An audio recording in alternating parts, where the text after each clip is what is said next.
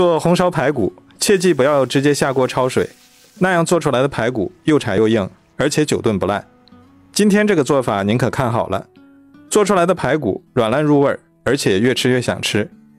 剁好的排骨加面粉，均匀抓拌两分钟，然后用清水反复清洗两遍。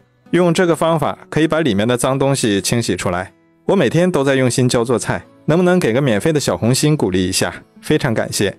锅加少许油，排骨控干水分后直接下入锅中，煸炒到两面金黄，然后放入葱姜八角干辣椒。好吃的关键就是加入一包这样的桂花红烧酱，既能上色还能调味儿，浓浓桂花满屋飘香，好吃又下饭。它还可以用来做红烧肉、红烧猪蹄，味道都特别好。其他什么调料都不用放了，然后倒半瓶啤酒和一碗热水，扣上盖子，小火烧半个小时，然后放入鹌鹑蛋，用大火收干汤汁即可。这样做的红烧排骨软烂入味，越吃越过瘾，好吃又下饭。喜欢的朋友赶快做起来吧！